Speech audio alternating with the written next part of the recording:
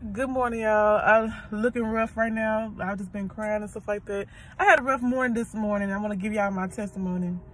And it's, but mind you, it's not. It's before the holidays. Thanksgiving is next week. Christmas is next month. So I'm just minding my own business. The kids off to school and everything else. And I decided to go get treat myself to some Starbucks this morning.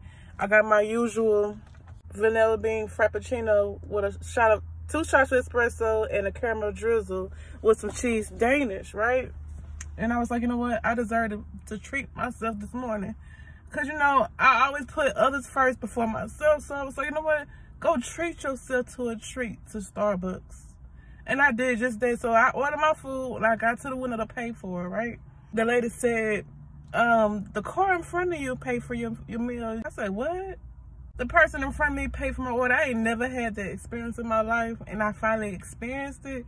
I was in so much in shock. I was like, they paid for my stuff. I said, you know what? I'm to pay back for it. I end up paying their food, the car behind me, so they can have the same feeling I'm having today. Made me feel like it's some true, genuine people out there. And I, they didn't know what type of morning I'm having this morning they decided to treat me for my stuff. And I did the same thing for the car behind me. You never know what, what a person may be going through at the time being. Just pay it forward.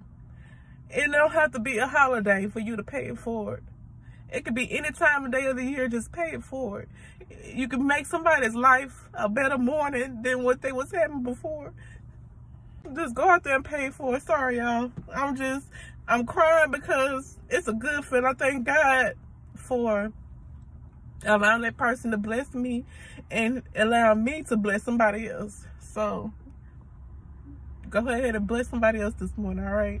Y'all go ahead and have a blessed day. I'll talk to y'all later.